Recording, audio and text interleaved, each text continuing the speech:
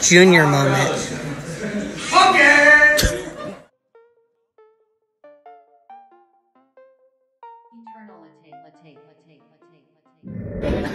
Riley, Yeah. can you finish the lyric for me? Lyric, what lyric? I got four walls to myself.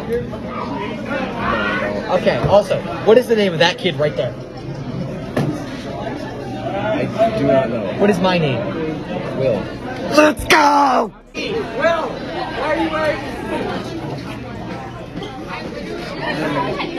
Who am I here with today? Easton Tucker. Can you finish the lyric for me? Sure. I got four walls to myself. Who am I here with today? Butthole. What were your opinions on 9-11? Oh, my father died in 9-11. What is your current state of your father? Bitch, I'm a big gangster. I turn around when I fall in love. Cocaine is slang. A hundred off. Surrounded by the pain. Ah! My father's dead. I'm lesbian. The interview with the banana. Okay, you got it. Who am I here with today? Uh, Johnny Crosby. Can you finish the lyric for me? Sure.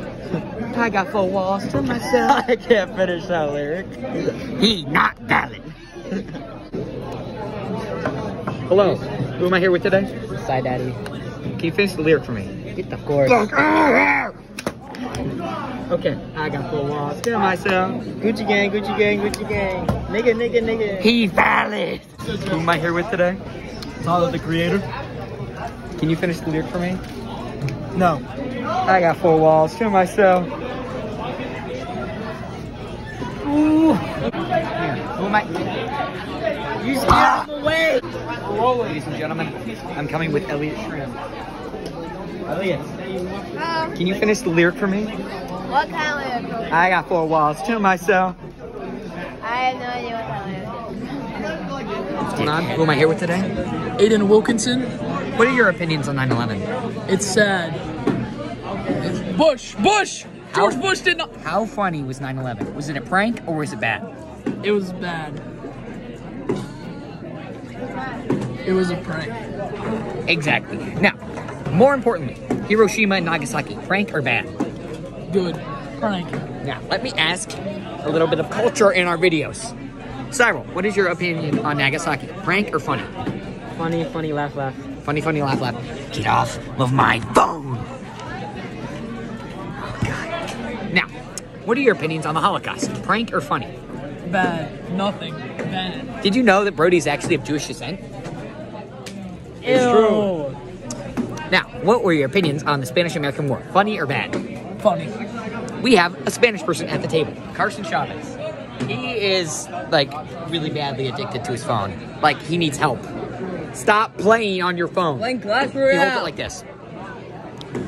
Okay, now my final question is really heartfelt. Would you let me have sex with your mom if if I gave you two million dollars Yeah. and I sent you one screenshot of it? Do I have to watch the screenshot or view the screenshot? Yes, but only once, and for like five seconds. Yeah. Two million dollars is a lot of money. Are you gonna be scarred from it though? Yeah. What if like I sent the video around to everybody, but you didn't see the video, but I sent it to like everybody I knew? That's okay. It's I, I'm two million dollars rich. Okay, now Carson Chavez, what would you do if I murdered your entire family and took their business for my own? I cried a lot. Or would you be your my partner in business? I would. Now, more importantly, where did you, you get your haircut? Because that is horrendous. Look at that. They fucked him up. Tino cuts. Where you at? Please get me faded up. Not like him though. Now, Brody, are Jewish. Is it true that your mother owns a drugstore and your father is in jail? Yes. That's all. I have no other questions for you other than the fact that your father's in jail. Bird. What? Can I can I make a comment about my father? Huh? Okay. No. Shut up. You're done. Okay. Cyril Palaganis. Is it true that your mother is black? Yes. Is it true that your father is J Bands, the rapper? Yes. Is it true that You know I'm a dope boy, boy.